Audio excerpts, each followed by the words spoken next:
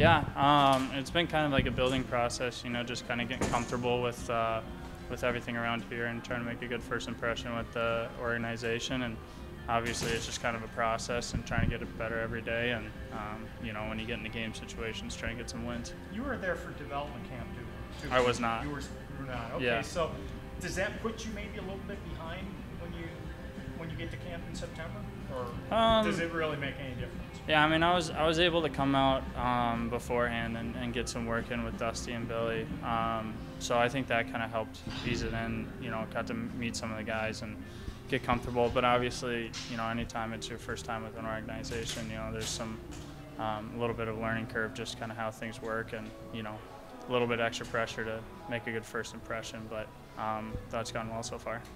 Now, did you have a goaltending coach at Notre Dame? Uh, I did for well. Usually it was our head coach Jeff Jackson, um, and then had one my sophomore year.